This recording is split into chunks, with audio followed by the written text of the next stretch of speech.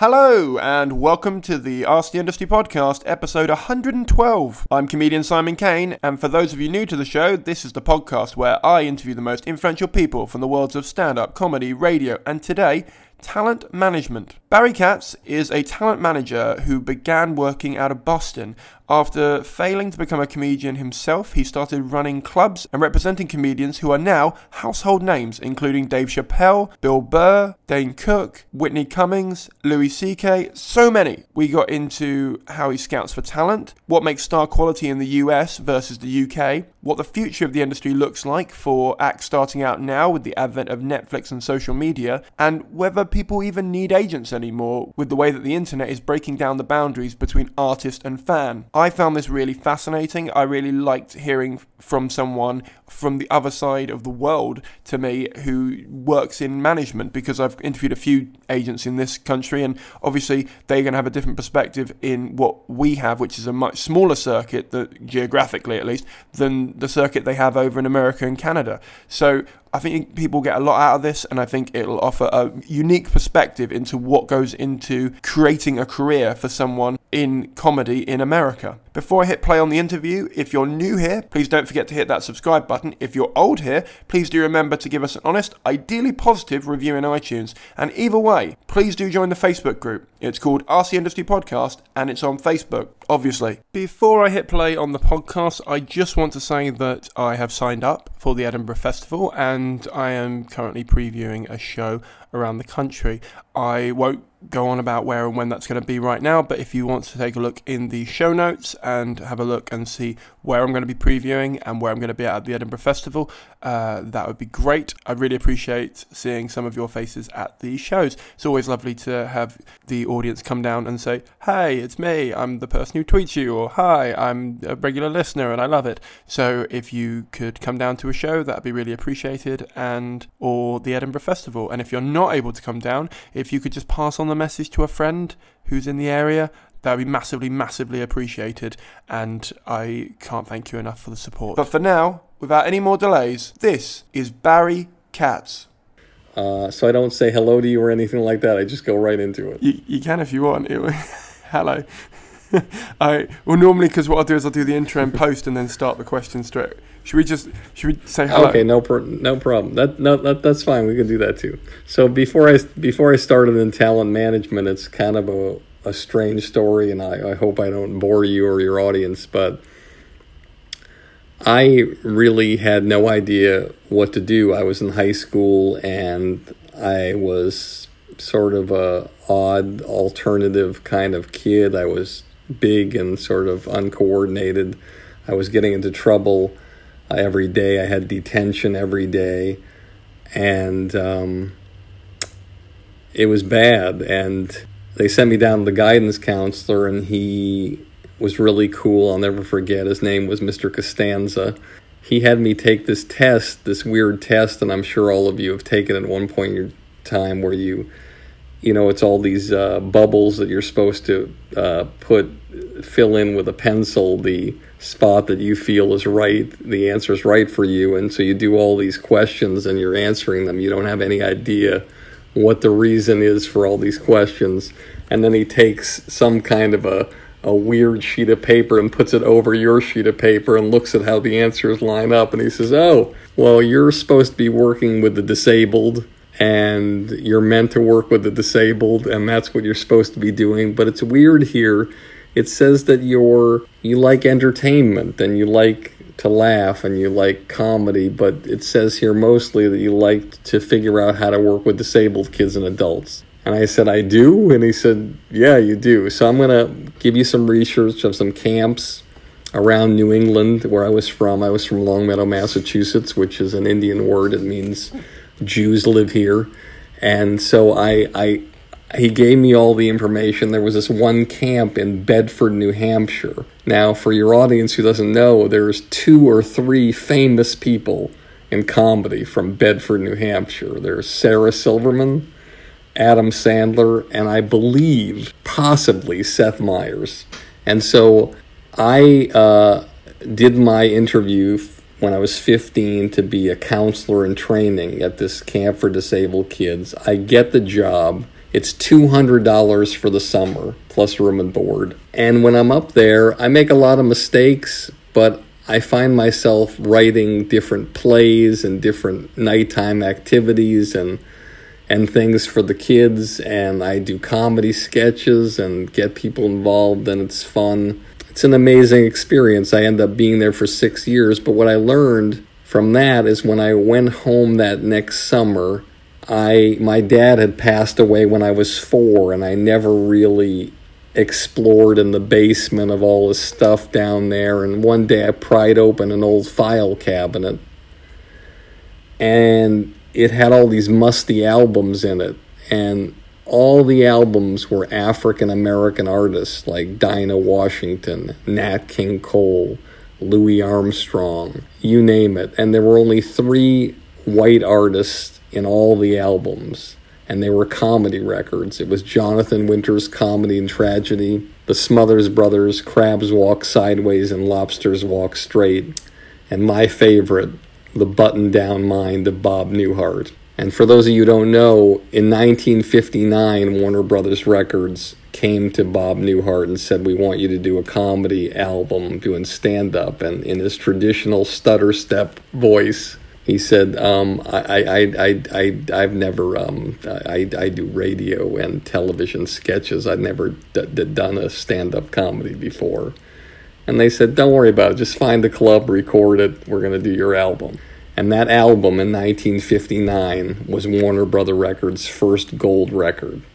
And so I love this record. I start playing the comedy records on a turntable that I had to get with what's called S&H green stamps. And for your older audiences around the world, when you were poor and went to the grocery store, they put a green stamp in the bag for each dollar and you would tape them and lick them and put them in these books and they were worth a certain amount of money you'd go to redemption center and that's how i got my fold down record player and played them. I memorized one of the routines called the driving instructor and then when the next talent show happened at high school in between my first year of uh, camp for disabled kids and my second i performed it in front of a thousand people and surprisingly, it fucking killed. And I'm like, how is this possible? I'm I'm I'm getting a bigger response than Bob Newhart. And I was hooked with the bug and I loved it, but I didn't do it really again until I went to Boston University. And the last part of the story is there was a blizzard in 1978. Yes, I'm old. And in Boston, if you've ever been, there is a famous area called Kenmore Square, which which three streets come off of. There's Commonwealth Avenue, where Boston College and Boston University are, where I went to school. There's Beacon Street, where the women's colleges were, like Simmons and Emmanuel. And then there's Brookline Avenue, where Fenway Park is, where the Red Sox play. And so there was a federal emergency. There's no, there's no one on the streets. It's midnight. There's nothing and I hear laughter.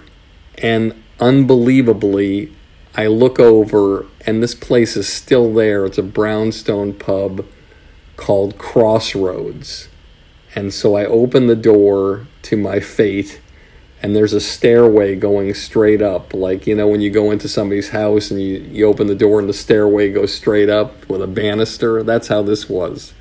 And so you're walking up the stairs, you're hearing the laughter and the murmuring of jokes but you can't see anything because you're looking directly at the stairway. And I finally got up to the banister, and like a little kid, I'm holding on to both banisters.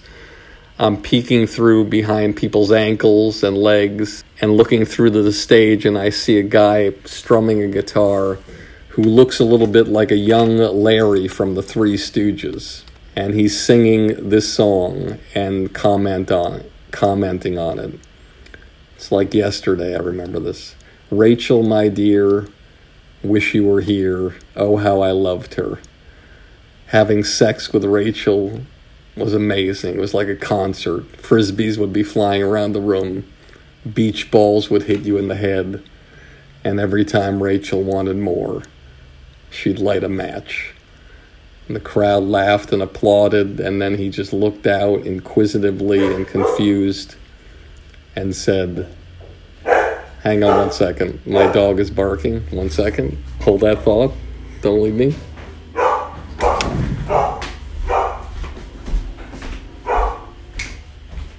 Never gets easy, does it? Anyway, so I want to finish the story. So then he, the applause, and then he just looks out confused and he says, Thanks. And he walks off the stage through the crowd, past me on the stairway, and I'm looking back and forth like I'm, I'm like, what just happened? And I run down the stairs to find him. I go outside, gone. And I run back upstairs and I ask the bartender, I said, who, who, who was that? And they said, oh, that's, that's Steven Wright. So Steven Wright was the first stand-up comedian I ever saw in my life, and he inspired me, and I signed up for the open mic night there. And it was after a swimming championship. I shaved my head. I get there. There's this intimidating host there named Ross Bickford. They called him the taxi driver. And he brings me up and he says something like this, and I'm sure every comic listening has gone through something like this. He says something to the effect of, Hey, this next guy is a really funny gay guy. I'm just kidding. He's not funny, and I hear he's hung like a buffalo. Please welcome Barry Katz. And like he eviscerated me and i didn't know what to do. I just went on stage and said something to the effect of you know well i had a really great time with you last night. And then i just went into this thing where i said uh, ladies and gentlemen uh, bob newhart my favorite artist and this album growing up was so meaningful to me and i'd like to present to you something that you might never have heard it's a routine called the driving instructor by bob newhart i do the bit fucking kills again. And like Steven Wright, I thought this is the way I'm supposed to do it. I just walk off stage and down the stairs and out the door. And I hear somebody chasing me. And I turn around, it's Ross Bickford, that intimidating guy who hosted and eviscerated me. And he says, Katsy, where did you come from, man? It's just incredible. I want you to come back next week. That was so great. I said, Oh, thank you so much we've never had anybody come in and do anything like that. It was so wonderful. Please come back. I said, okay, thank you. And he looked at me and he said, can I give you some advice? And I said, yeah, what is it? He said, uh, listen, when you're when you're doing somebody else's bit like that, don't fucking mention their name. Just take the bit. And I looked at him like the dog looks at the answering machine, and I knew what I had to do. And I went back to the dorm that night, and I pulled an all nighter writing my own stuff. And then I started performing in the comedy clubs in Boston doing really well until I uh, got a job as a doorman at this club called Play It Again Sam's for $10 a night. And I performed, and then they fired that guy and gave me the club when I was a teenager, and the rest is history. And so that's that's your first step into comedy performing. Yes, sir.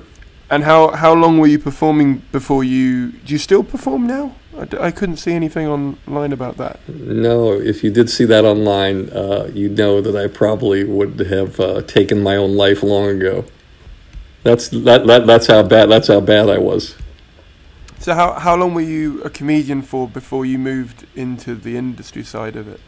Well, you could ask Bill Burr, and he'd say I was never a comedian. So, uh, and uh, many people would say I was never a comedian, but I probably did it for about uh, ten years off and on. I hosted a lot of shows. I was a really, really great host, and um, I really was always able to to do really, really well. I when I hosted, I used to do this thing, and it's weird because I don't really.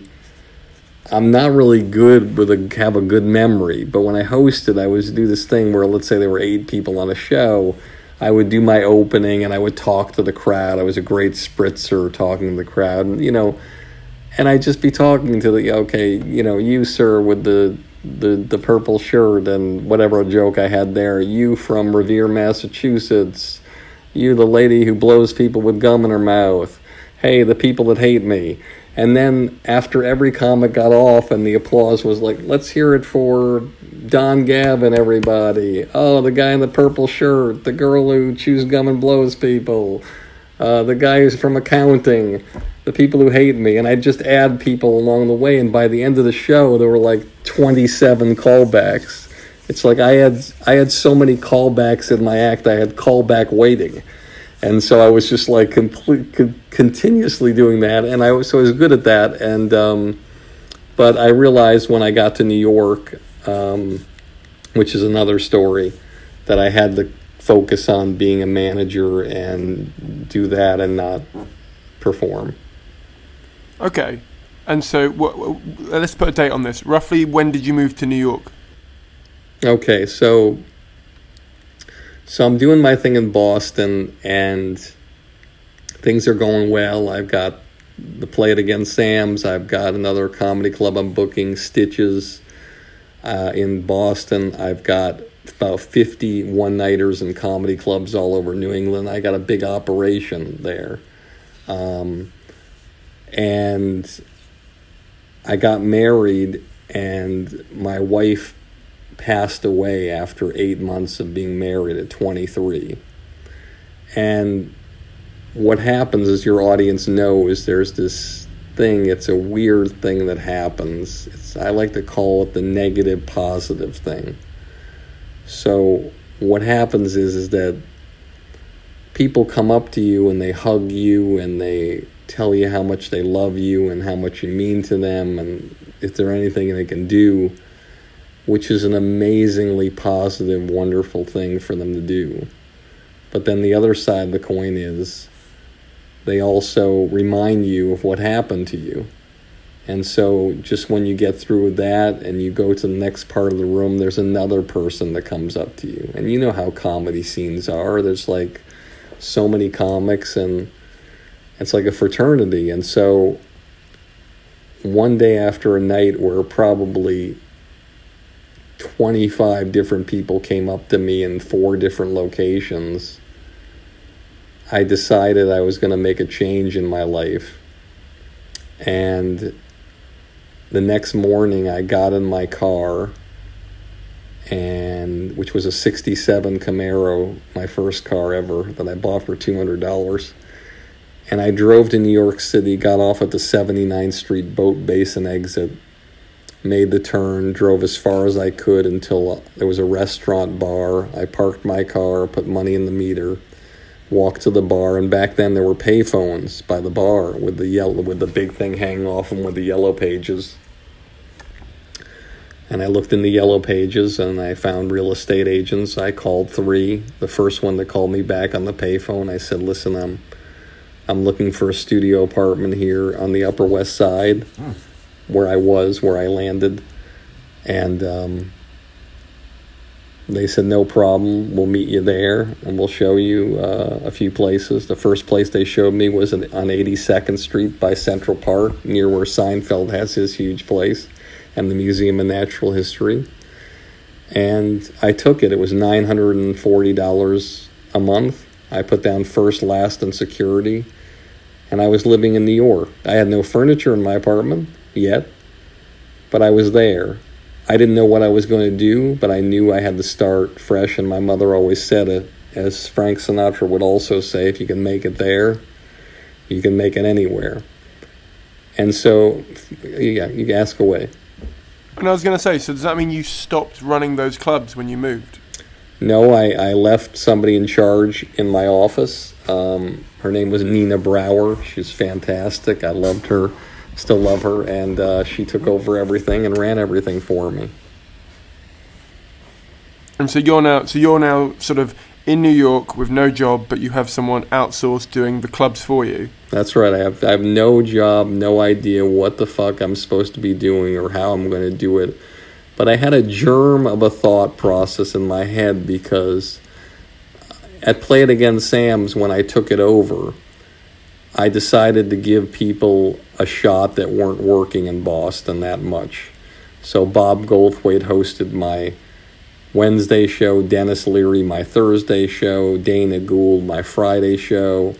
Saturday I gave Lenny Clarke, who from the show Rescue Me, I gave him a thousand dollars every Saturday night because he was the biggest fish in town. I said the only way I'm going to get respect is if I overpay and I overpaid him. Everybody was making like twenty five to forty five dollars a set. I paid him a thousand dollars on Saturday night, and he took it. And then Sundays was Anthony Clark from Yes Dear, and and I had Steven Wright and Paula Poundstone and Jonathan Katz who created Dr. Katz there. So I I formed those relationships. So when I went to New York. I, I, I knew from Denis Leary, his manager, used to come down, Jason Solomon. I thought, you know, that's an interesting career. So when I went to New York, I called him and asked him about management, what it was like, and I, he gave me a lot of words of wisdom and encouragement. And then a friend of mine, Eddie Brill from Boston, had been running this comedy club in Greenwich Village, and he was leaving to go to LA.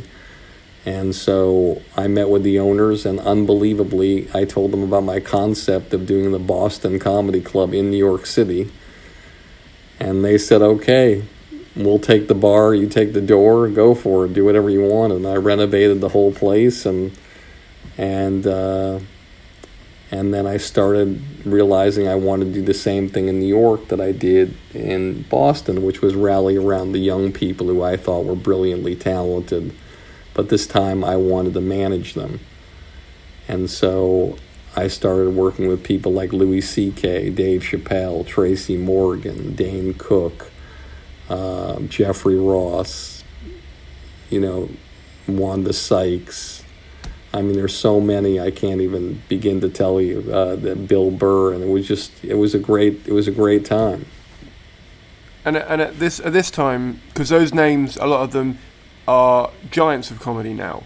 And at the time, obviously, yeah, they weren't back. Yeah, back then they weren't giants of comedy. They were like they hadn't even done. A lot of them hadn't even done a television show. Although Jay Mohr, who I represented very early on and for 25 years, he was a booking machine. So he would book sitcoms and he got Saturday Night Live. He was the first client I had that got Saturday Night Live and then Tracy Morgan and Jim Breuer and Darrell Hammond followed. And then Dane Cook, who I represented, hosted the show twice, once uh, a premiere um, episode.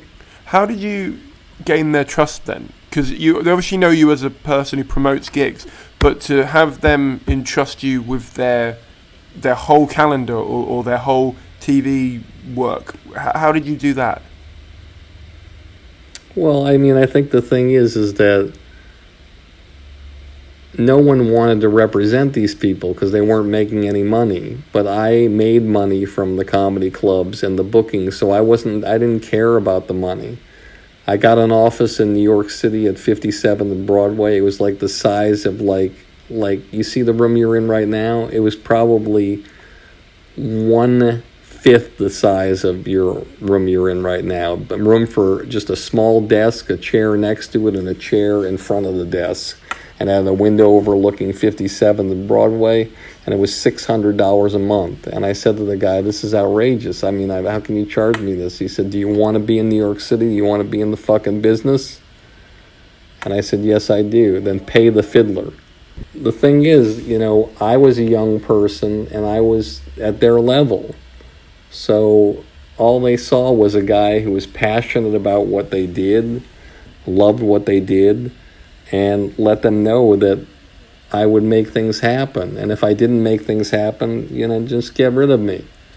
You know, but I had a penchant for always being persistent, and I would get these people things that, you know, and, and pretty soon it was like, it was ridiculous. Things were happening that you just can't I don't know. It's just uh, not that it's unbelievable because I always believed in myself, but it became very apparent that I had the ability and the eye for talent. I, I don't know where it comes from. I, if you asked me how I know that you know somebody's going to make it, I, can't tell you that. I have no fucking idea. It's just something that's innately always been inside me. And if you ask me if I have the ability to get them where they want to go, I almost always feel that way. Uh, yes, there's people that I haven't been as successful with, and, and I, it's well documented. You know, when I did my podcast on industry standard, my podcast with Bill Burr, you know, I resigned from working with Bill Burr after like, I think, I don't know, eight years. And I just felt like I wasn't, I don't know what was happening, but, you know, he wasn't booking the jobs and things weren't progressing, and I wasn't helping him progress for some reason. And maybe it's just because we didn't mix together the right way. I have no idea. I love Bill Burr. Uh, I have a lot of respect for Bill Burr. Um, but I, re- I resigned from working with Mike Epps, you know, as well, you know, when I didn't feel like I was having the right effect. And he's doing great. So, uh, and I've also been fired a million times, uh, too, and I've been hired a million times. So it's, um, but I, the thing about anything, I guess I look at, and maybe the other comics looked at, was, you know, in any job, as your audience listens to this, whatever job you're in, the evidence that you have that lets you know that you're on the right track is an accumulation of successes. So you're not going to get a great reputation in your job if you only have one success. Yes, let's face it, there are exceptions. Um, let's say Mike Darnell, the executive uh, president of alternative programming and reality at Fox. So he did a lot of reality shows that were successful. I'd say if you follow baseball, maybe there were some singles, some doubles. But then American Idol got on the air. And American Idol was like, that was like four grand slams in one game by one player. So, so for him, he didn't really. I'm not saying he didn't need to do anything else, but that show made the network like a billion dollars. So he could he could survive really well with that one huge success. But for the most part, in any job, you know, if you're in a law firm, you know, you're not going to get move up in the company if you only win one big case you have to win a lot of cases. You know, at the, at the 7-Eleven, you're not going to move up as manager unless your 7-Eleven does better than all the other 7-Elevens in the area. You know, every year for like five years in a row. Uh, if you're, you know, a network, you're not going to become number one if you don't have more than one hit. And so, for as a manager or in anything, producing you have to show people that you're capable and what you do with those people is successful, not just once, not just twice, not just three times. But in my case, I I could argue that I mean, and it's hard for me because I I feel like I I always uh, want to err on the side of humility. But I mean, the evidence shows that I mean, I think there's got to be over 10 different artists that I worked with who nobody knew. No one even knew their names. They never did anything. And they became huge, huge, huge household names with their talent and my talent. And I, you know, I'm not saying it wouldn't have happened without me. Who knows? Uh, but it's not a coincidence. Once is a coincidence, twice is a fluke, three times is luck. But if you're in a situation in any job where you're doing something, you know, so many times in a row, you get four people on Saturday Night Live before you know what you're doing with four different individuals, and you're not even, you don't even have a relationship with Lorne Michaels, and you can do that, or you can you know, get people to the point where they're booking television series or like an hour specials. I think I, I mean, I don't know. I mean, I, I think there's only one hour special that I haven't gotten on network television yet out of, you know, 35 or 40 of them. And, you know, that's, chances are that's the world telling you, okay, I think you can do this and so artists so artists will see that and they'll like oh fuck this guy will help you i just want to share one quick story that i remember god i just remembered it I was working with Dane Cook, and Dane was living in a, a tiny little apartment in LA. I think it was $800 a month. And he was so talented. He had so much vision. Still does. Credible, credible artist. Um, one of the most, uh, you know, incredible guy who started social media for artists, not just comics, musicians, you know, magicians, anybody. Um, had a real vision. And things started going well for him when we started working together, and he moved into the La Fontaine, which is a famous, famous apartment complex at Fountain and Crescent Heights between the Laugh Factory in Los Angeles and the Improv. Steve Martin lived there, Bette Midler, tons of people, uh, great people. And I believe he moved into Steve Martin's old apartment, which had like 30 foot ceilings. It was just amazing. And um, I remember I was there one time and I had left because he said uh, somebody was coming over. And he called me up about two hours later and he said, uh, Patrice O'Neal came over my house. I said, Oh, okay. I wish I had seen him. Uh, he said, Yeah. He walked in, and this is all he did when he walked in. He just walked in, didn't even say hello to me, just looked around, up and around at the ceilings and the expanse of the place. And the first thing he said, and he looked at me, he said, Fucking Barry Katz. God damn fucking Barry Katz.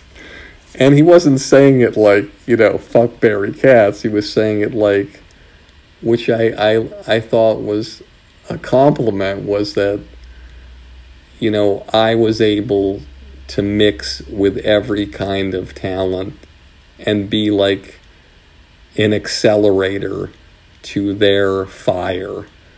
And and I don't like I said I don't claim to be the reason why but I claim to be somebody who had a feeling, a sixth sense of how to how to always figure out what artists wanted, look at what their bucket list was, and get them where they need to go. Where do you? Because it, cause it sounds like you've got a very varied client list and have done over the years. And obviously, running your own clubs means that you'll get a lot of applications in from comedians. But it sounds like at the time of doing a lot of these clubs that we're talking about now, it would have been more than ringing you up or, or coming to meet you in person and asking for spots, rather than now when they might email a video or whatever. So, how are you scouting for talent? Like, where, where other than your own clubs, would you discover people? Well, I mean, back then there wasn't, you know, YouTube. There wasn't really even email or anything all there was was video cassettes that you'd or go to the clubs. So I used to hang out in the clubs all the time. I in New York City, I'd go around to all the comedy clubs. There were a lot of them. I used to go to Harlem to the Uptown Comedy Club. That's where I found Tracy Morgan and a bunch of other artists. Um, and in LA, I used to go to the Laugh Factory and the Improv and the Comedy Store. And I'd see a lot of different people, but to be honest with you, I I never thought of myself as an aggressive person when it came to signing artists. I always signed a lot of young artists who, not that they didn't think about them, not that they didn't think they were funny, but most people at the time, they want to make money. They want to figure out to make money. You, you know, if you're signing Louis C.K., you know, when he's 18 years old, well, how much money is he going to make that year? Is he going to make, you know, if he makes $50,000, he's thrilled. But what's $5,000 going to do for a, a management company, really? And so back then, no one cared about that, those kind of numbers. And I didn't give a shit because I had money from the clubs. I mean, I wasn't a millionaire. I wasn't even a thousandaire, but I was comfortable. You know, I had, I was, I wasn't living check to check at the time. And so you know, you could represent those kind of people and not worry about it. So, I mean, collectively, the group of people that I represented at the time, probably the first five years, you know, if collectively they made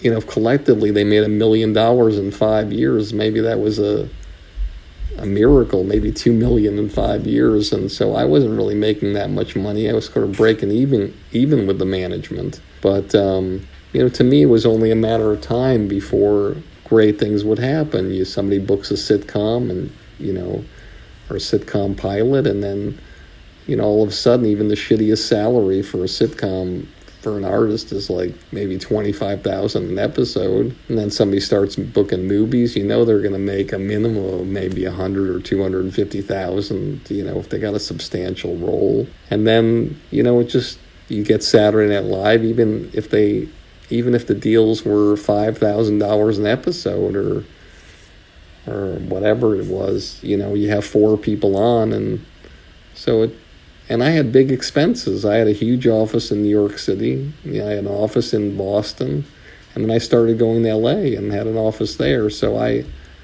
I put everything I had back in the business, and uh, and I just believed in these artists, and uh, luckily it all worked out, and um, and I'm honored that they gave me the opportunity to work with them, and even those that I don't work with anymore, I love them I love them unconditionally, and I, I have a great relationship with almost all of them. I mean, Chappelle invited me and my son to Radio City Music Hall, got us tickets backstage, spent so much time with us. You know, those are things that you, Mike Epps, I saw the other day, fantastic. Bill Burr, when I saw him, even though in the podcast he tears me a new colon, and it's probably one of the funniest podcasts you'll ever hear on industry standard. Every five minutes or ten minutes, he said, "Barry, you know, you know, I love you," and and I truly believe that he does feel you know those kind of feelings because I feel them for him and um, these people are amazing you know Whitney Cummings the hardest working person. I, this is a person that I'll tell anybody this is the person who you visualize taking a shower with her iPhone in a Ziploc bag. You know Frank Caliendo this guy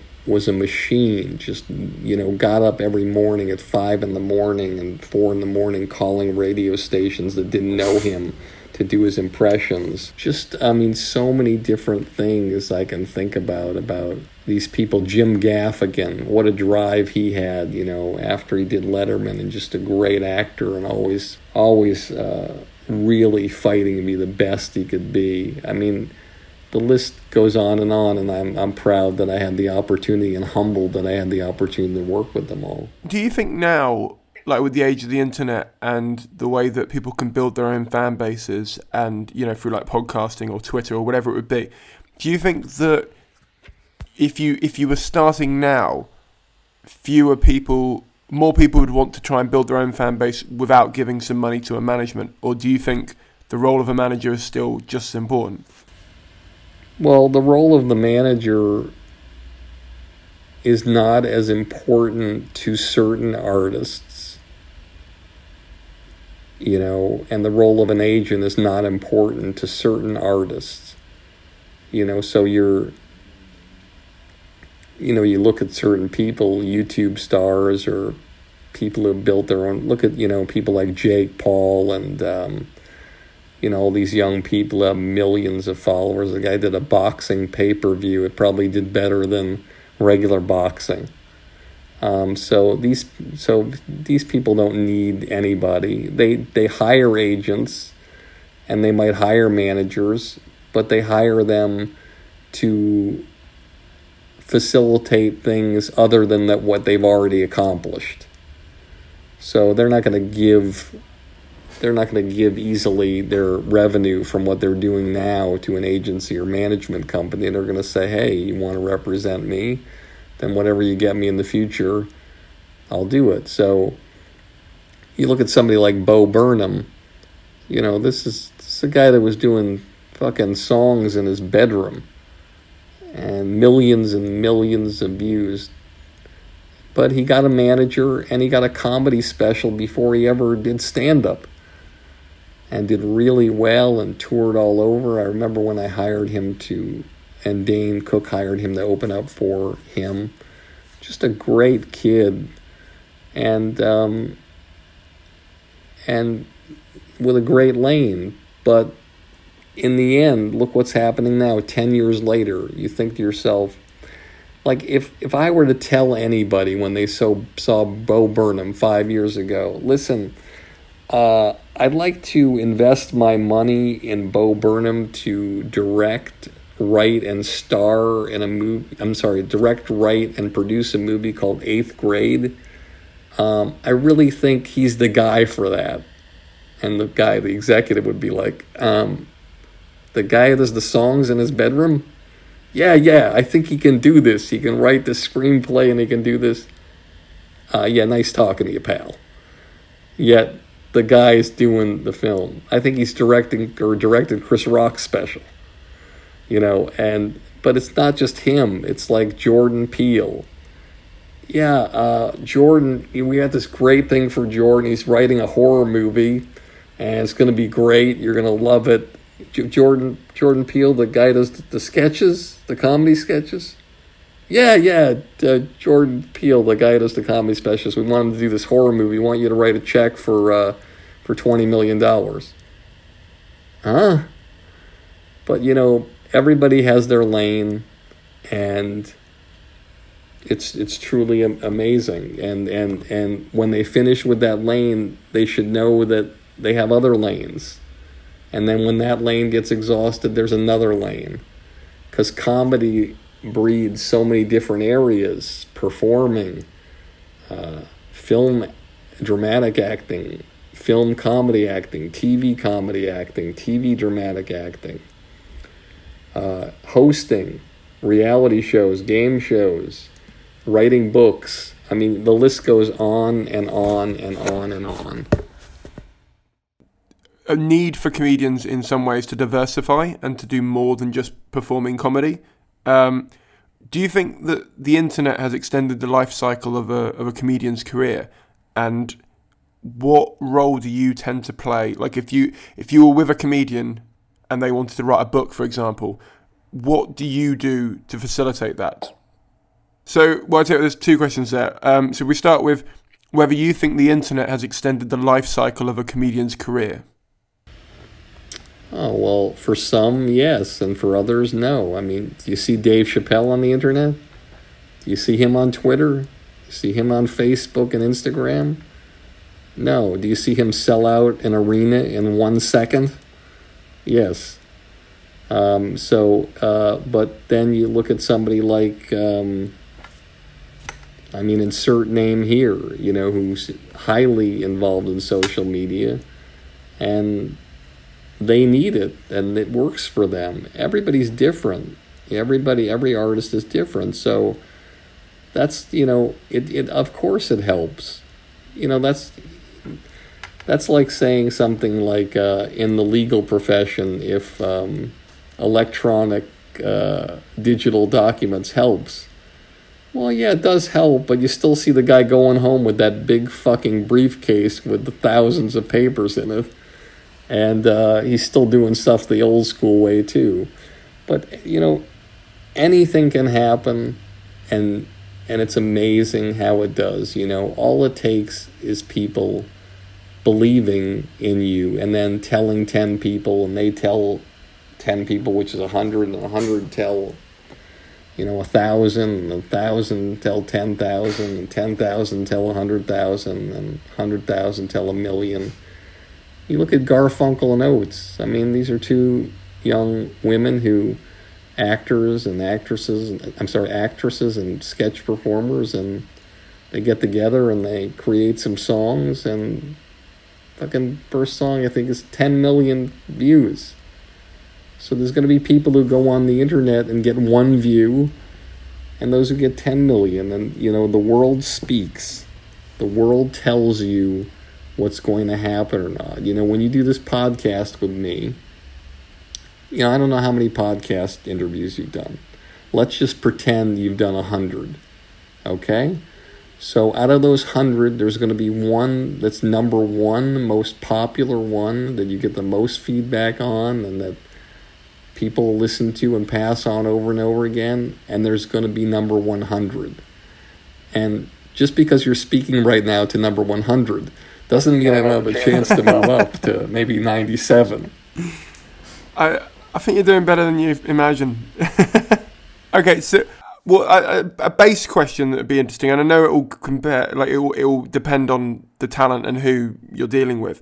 But as a general rule, do you prefer to approach the talent, or do you prefer them to approach you now? That's a good question. Um, I mean, the logical thing to say would be that you have to be aggressive and you have to approach people and you have to let them know that you're ready and you you want to work with them.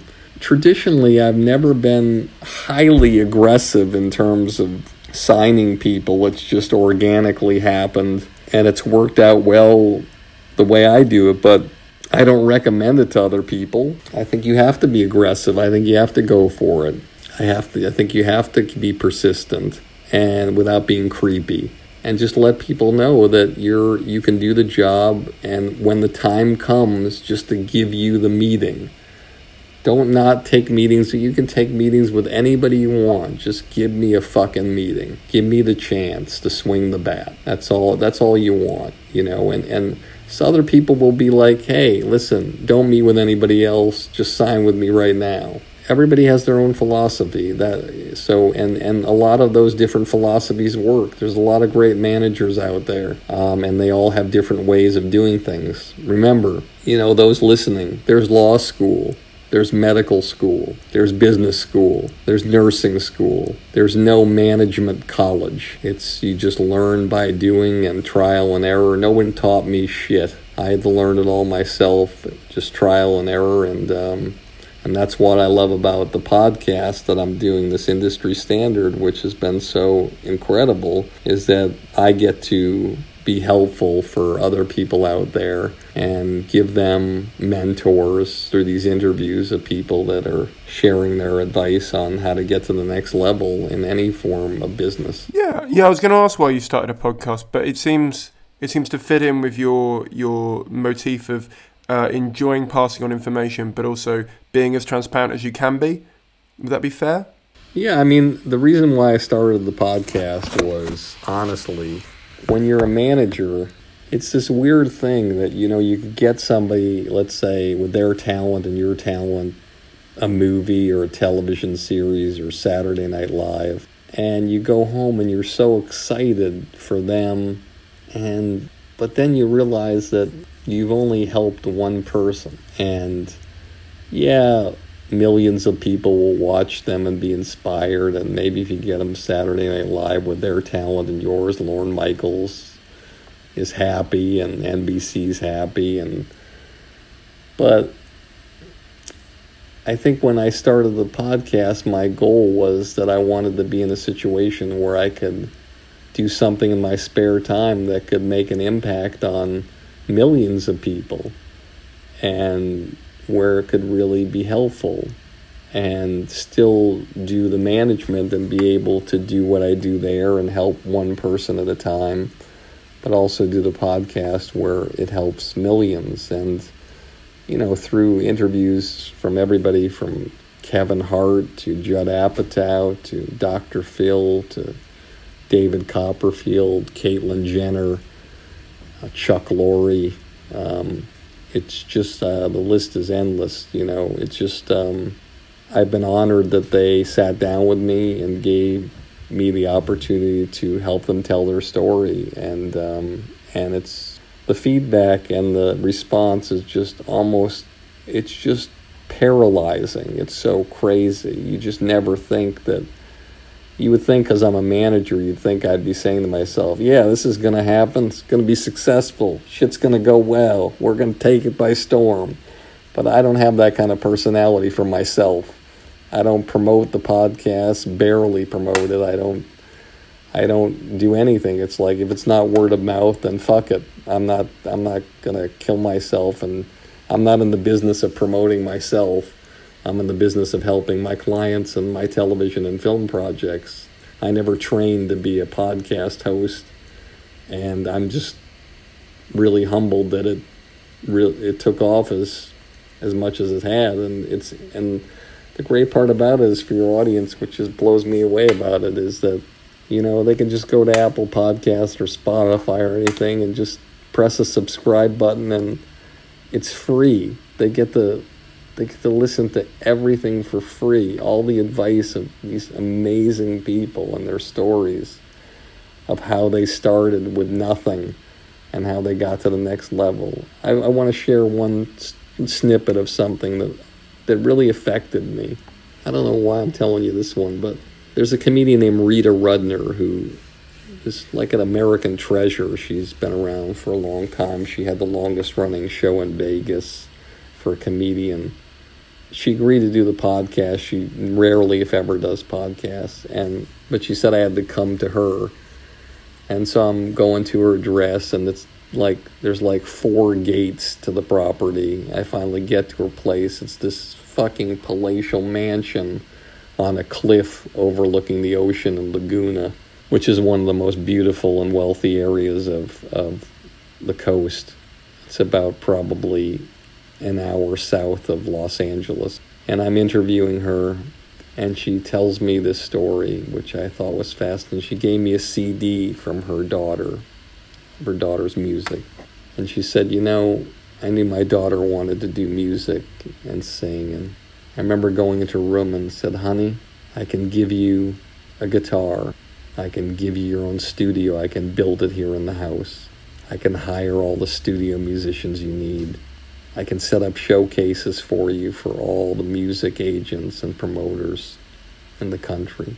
I can get a great photographer to shoot the cover of your CD. I can get the best graphics people to do all the artwork. I can get singer songwriters to help you write the song and produce it with you. I can give you anything you want. There's only one thing that I can't give you. And her daughter looks at her and says, What's that, Mom? And she said, Adversity. These are the kind of things that blow you away because they're so simple.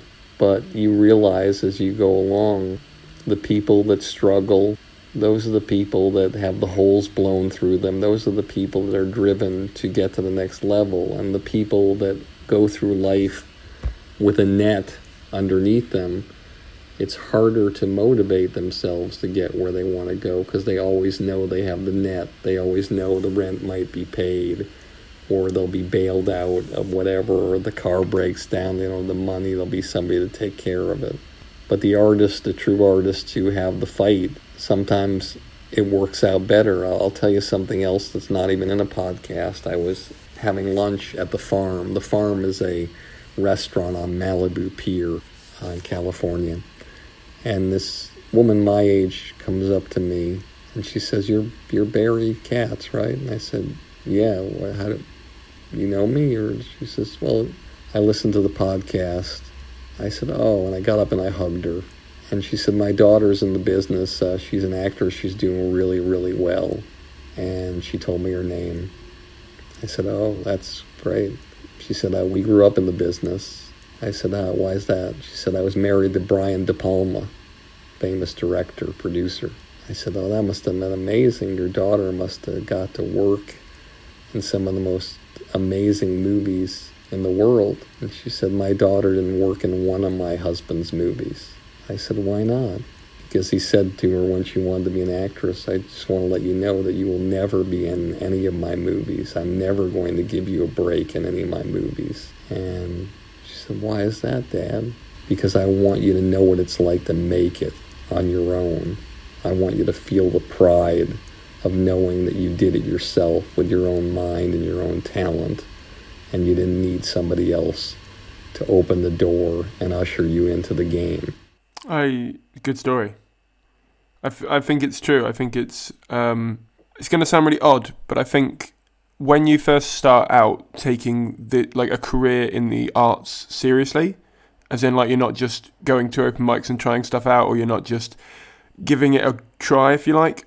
I think the best thing that could happen to you is that you just get knocked back immediately, and and you have to kind of immediately face the reality of oh I've just been playing at the base of the mountain this whole time. Now is the climb. Um, I mean, over here, there's a fair number of pretty new comedians who get picked up by the big uh, agents out here um, very early on, and there's a lot of I wouldn't say resentment, but there's a lot of like negative words that go around when that happens or every time that happens. And I can't deny that I've felt a bit like, oh god, why are they? Why is this person six months in or whatever getting picked up over me or someone else who's been going however long? But then you go, they're not they're not going to get the push, and they're not going to be as good in ten years' time as they would be if they had to wait five years for that. And so, my my question is probably, is there an is is there a point too early when you wouldn't work with someone, or is there a point uh, like what's the tipping point for you that you go, oh, they're working hard enough, I would actually work with them as a manager?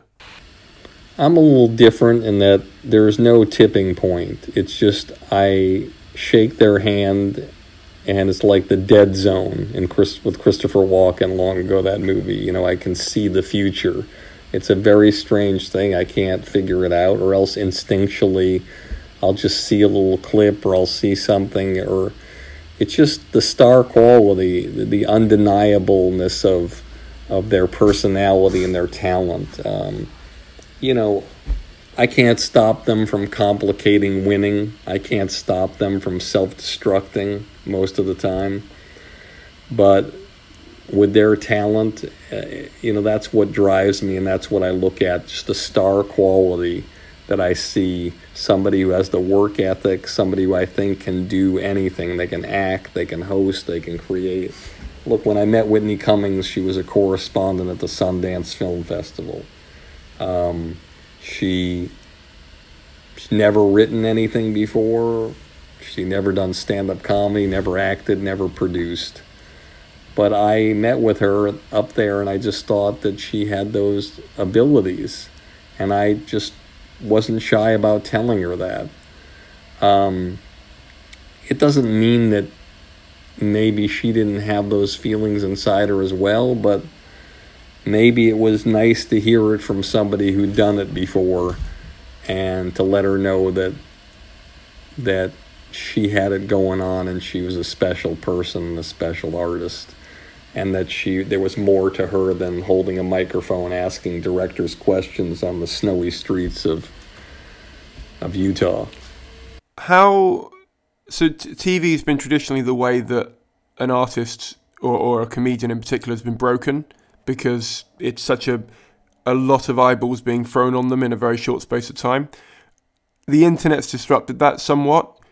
Do you find that TV spots and and I don't know whether you even have as many of them as we do, panel shows and things like that in America. Um, do you find that that actually helps break a comedian in the same way as it used to, and how has that changed? Not even close. I mean, in the mid '80s, Roseanne Barr and Louie Anderson did sets on the Tonight Show, and within six months of each other, and they were touring, doing 5,000 seaters. They were developing their own sitcoms. Um, it's not even close. But what is what happens is a set will go on, let's say Conan or Colbert, and then they put it out online and then it will go viral from there. Whereas before, you didn't have that. Nothing went online. You did the Tonight Show, that's the last time you saw that spot. It was appointment television. Now you see these spots so you know. So i just like i just was at the comedy store and i uh, i'm going to pronounce his name a few different ways because i don't know how to pronounce it. So i ran into uh, at the comedy store last night i ran into Sam Morril. Sam Morril. Sam Morril. I don't know what is how you pronounce i don't know how you pronounce his name now it's horrible but i saw him do a set on conan online and i loved it great bit that he did about how, you know, it was kind of, it's a really intelligent, kind of slightly blue humor where he did a great routine about how his girlfriend gives him credit for the orgasm and, you know, he likes that. But it's confusing to him, and I'm paraphrasing because a lot of times he'll be in the middle of it and she'll say, no, just just stop, just stay still. Just stay still right there oh, that was the best I ever had. And he's thinking to himself, well, I just, I just stood there. I didn't do anything. But she's giving me credit. He said, that's like going to the barber and having him hold the clippers in one spot on your head and you move your head around and around and around and at the end of the haircut you say god that was the best haircut i ever had. And so you know he just had great material. I loved it and i went up to him and told him it was really special and uh, he told me that he was um, amy schumer was producing his first hour special for comedy central and i was really excited for him and um, you know, you can just can tell when people are doing the right kind of stuff, and you can tell when people are doing the stuff that's not right. It doesn't take a genius, whether it's a person who works at McDonald's or a person who works at the rocket science laboratory, to go to a comedy club and and see Jim Jeffries do a routine that's 10 minutes long about Oscar Pistorius killing his girlfriend and dragging himself across the stage like he has no legs and acting out the whole thing versus the guy who says, Hey, you know, what part of the chicken does the McNuggets come from, huh? Ever see Gilligan's Island? Wasn't that a fantastic show? You know how they could make a blender out of two bamboo poles, but they couldn't fix a hole in a boat this big? It doesn't take a genius to figure out who's doing the right kind of comedy. You know, Am I going to watch a guy do a bit that's 12 minutes long on gun control? Or am I going to watch a guy fucking a stool for 10 minutes, imitating how he got action? You know, it's like we all know what's right and what's wrong in comedy. And comedians have an advantage now. They can study comics, you can study greatness, imitate greatness, and become great. And the problem is, a lot of comedians still do that and they still go on stage with mediocrity. And it's, it's, it, it doesn't make sense to me. It's a very simple thing. Go on stage, be authentic, original, unique, powerful, and funny. Don't be derivative, ordinary, average, and good. Surely, so I agree with all of that, but uh, to play devil's advocate, which basically means being a wanker and trying to get away with it, I, if you if you find something funny as a as a writer or comedian and you want to perform it, even if you think, ah, this you know like dating, it's been covered a million times, or ah, family life, has been covered a million times. If you want to perform it and you can put your own spin on it, surely there's no subject that's like too too worn down and too hack, or are you are you talking about something different? Have I misunderstood what you mean by being amazing? Look, Simon, let's cut through all the shit, okay?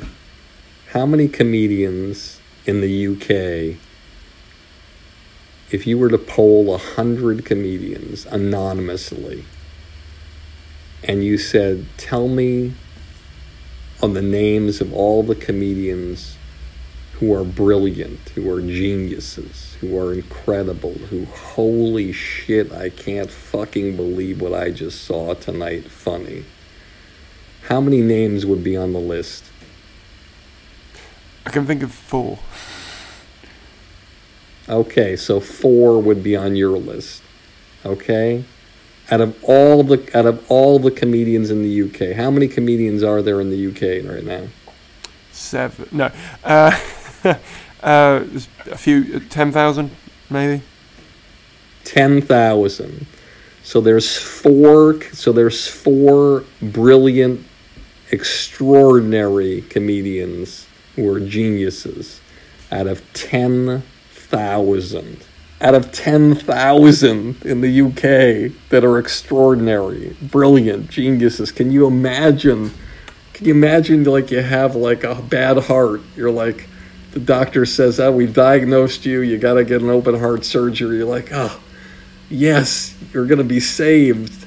You're so excited, and then he says, "Well, don't get so excited because there's only four guys who are brilliant enough to do the surgery for you. The others are they're they're good. You know, we can hey, we can get you the operation with somebody who's, who's good, very good." Well, no, I want one of the fucking four that's great, that's extraordinary, that's brilliant. Yeah, that's that's a that's a seven year waiting list for that guy. Or you're going to jail, you're about to go to jail, and you need a great lawyer to, to take you where you need to go to get you off. And they say, listen, the good news is we think this case is winnable. We can get you off. Yes, my case is winnable. Uh, the bad news is there's only four attorneys that are extraordinary enough to get you off.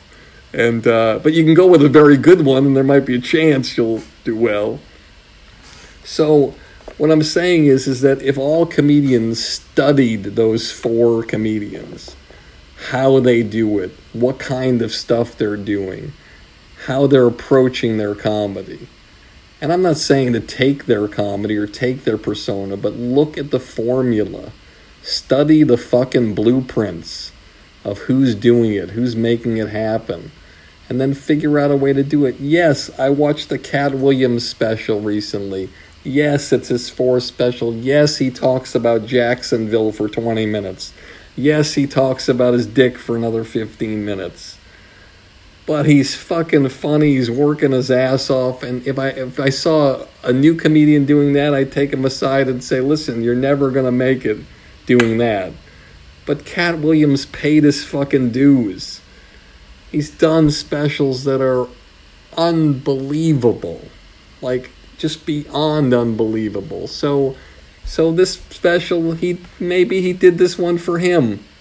Maybe he did this one. You know, Chris Rock has done amazing specials. One of his specials, he did 10 minutes of Michael Jackson material. The best Michael Jackson material you'll ever hear in your entire life by a hundred times, but Michael Jackson material. He paid his fucking dues.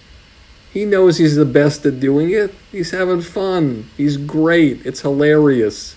If I see young comics starting off doing 10 minutes of Michael Jackson material, chances are I'm going to tell them don't do the Michael Jackson material.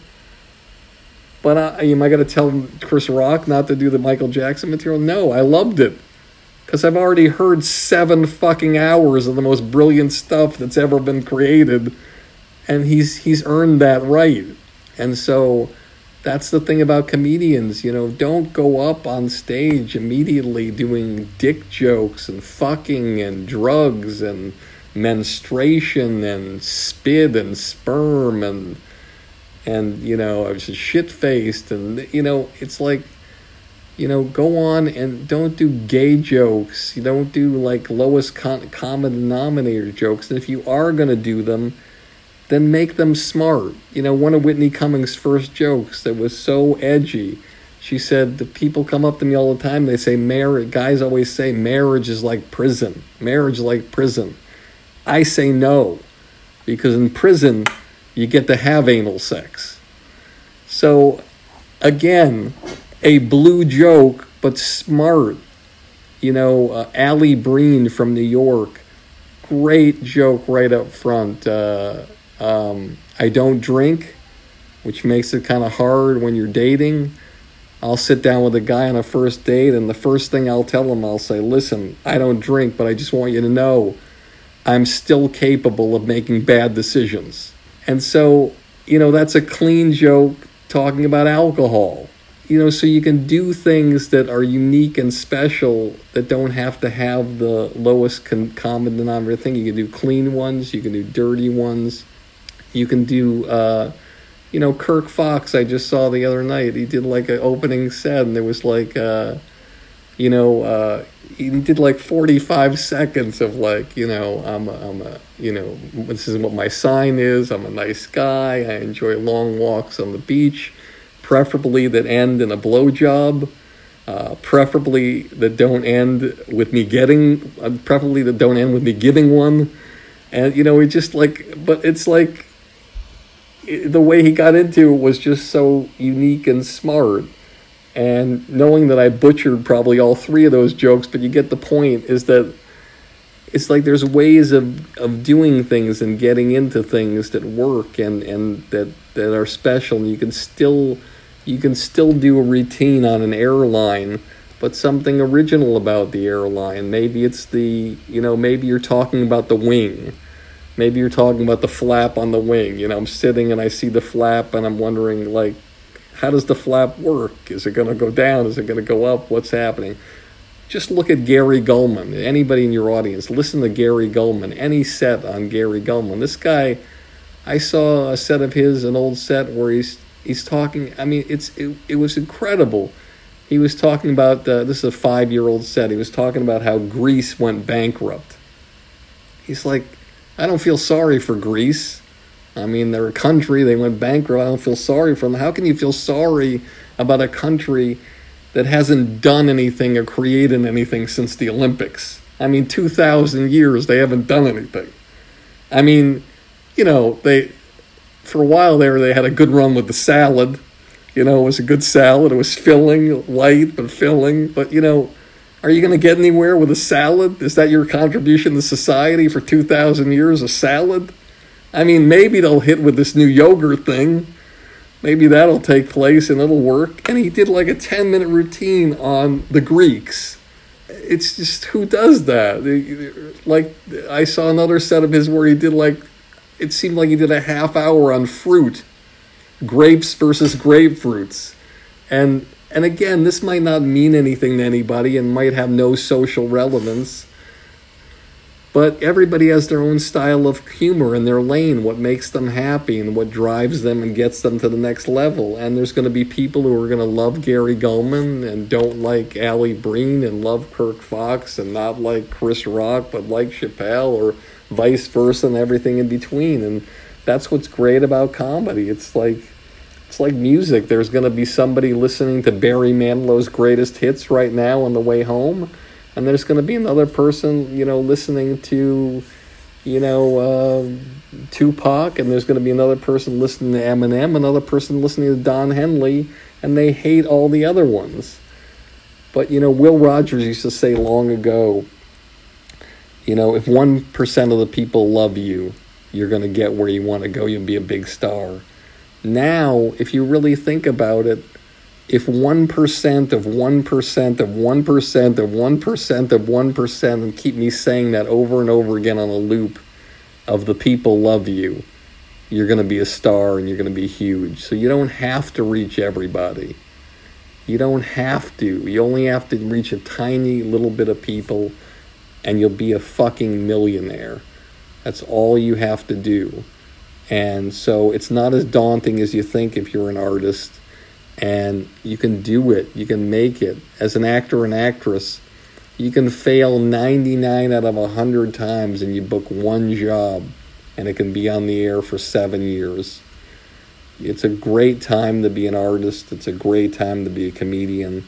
It's a great time to be a writer. And, and all of the artists listening, you have the power. And those of you in other businesses, you too have the power because all you have to do is navigate and figure out what you need to do to outwork, outsmart, and navigate, out navigate your competition. And even then, even if you don't out navigate them and three people pass you, there's still room for you to make an impact and keep driving, keep growing, and keep getting to the next level until you get to your destination. I'm going to leave it there. Thank you very much for coming on. Awesome. This was amazing talking to you. Thank you so much, Simon. And uh, thank you so much for having me on. It's a real honor to be on this podcast and to be asked. And, and then, can I plug my podcast? Yep, go for it. Is that legal? It's fine. I was going to plug it anyway, but you can do it if you want. Uh, Save me the, the effort of it. Oh, okay. Well, if you want to do it to you, you can just do what I do. So, and and just I just want to let everybody know. Please check out Industry Standard Podcast on all platforms. Uh, I can guarantee you it will change your life forever if you can get past the sound of my voice. So just subscribe, have fun, and enjoy it, and uh, let me know how you like it at, at Barry Katz on a on, on a personal note, because what I was going to say about is I've listened to about half a dozen, maybe a dozen episodes now, and I really enjoy it. Uh, and it's it's a it's very it, we have a lot of crossover between the two of us. Except I feel like you focus a lot more on on star celebrity people, and I focus on people who are behind the scenes and intermittently bring stars on. So if you like my podcast, you'll definitely like Barry's. So I I'm I'm I know just from being with you and talking with you that. Um, I'm sure you're being humble and your podcast blows mine the fuck away. I'm probably a speck on the ground compared to yours. So uh, I'm just uh, honored that you had me. Thank you very much. Thank you, boss. That was Barry, hearing his thoughts on the future of the industry, but also how you don't need to be known by so many people now was really interesting. Like the small percentage of people that you just need to know who you are to be quote unquote famous really is inspiring for someone like me. It's it's resonated a lot with the comedians that I've had on before who don't really consider themselves to be famous except in their tribe and also really reflected some of the work I've done in the past in for example my book How to Make a Living by Working for Free where I interviewed a lot of comedians who were like, "Well, I have 20,000 fans and that's it." And you think 20 well i mean 20,000 a lot of people but you think of a big name comedian you think millions of fans all the way around the world the the Russell Brands of the world or whoever you want to name. Whereas there are a lot of comedians who go no I got my I got my people. I'm fine. Also if you if you want to buy a copy of my book in which I interview people like Richard Herring about how they built their fan base and how they asked their fan base to support them after they've created free content that they value uh, there'll be a link in the description. It's 5 pound digitally on Amazon or it's I think thirteen pound, eleven pound, thirteen pound, something like that for a paperback copy, and you'll be buying that direct from me on my website. So please do do that. It'd be a lovely birthday gift uh, for me if you missed getting me something back in December. Honestly, as someone who who who is very DIY and hates how much I don't feel like that ethos exists in the UK when at least I compare it to the US, I loved hearing that from him, and I found the whole thing really fascinating and inspiring. So I can't thank him enough for coming on. If you'd like to check out his podcast as well, uh, Industry Standard, there'll be a link for that in the show notes. If you like this one, you'll definitely like that one because basically it's the same thing but with comedians from the US and agents from the US and that sort of thing. So it's been quite a nice collaboration between the two of us. Also, if you've liked this episode and you want to hear more from agents, on my podcast, I'd highly recommend the episode with Charlotte Austin of Catface Talent. Well, it, it used to be known as Catface Talent, it is recently relaunched under Austin Talent.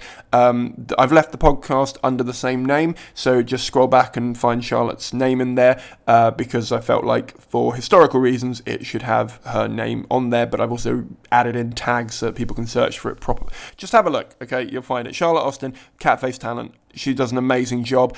Jeff Whiting, I interviewed for Mirth Control, uh, one of the biggest management and booking agencies uh, in the country. So if you really want to learn more about what it takes to get an agent and what agents are looking for in this country, those two would be the, a great place to start your research. The Ask the Industry podcast is a Fruit That Got in Gravity's Way production for the internet. All elements were created by me, comedian Simon Caine. Thank you very much for listening. Thank you very much for subscribing. And thank you very much for rating and donating if you do. I'll see you all in about 14 days' time. Uh, before you go, before you go, before you go, uh, I just want to quickly say uh, I'm going to be at the Edinburgh Festival. I'm drilling down the details on dates, times, and all that sort of stuff. But just so you're aware, uh, I'm going to be at the Edinburgh Festival in 2019. I'm also going to be previewing the show from about April onwards around the country, and then I'm going to be on tour in September and October. Now, this is the most vague plug I've done for anything, but essentially, I'm going to be updating my website with these details as soon as they are available.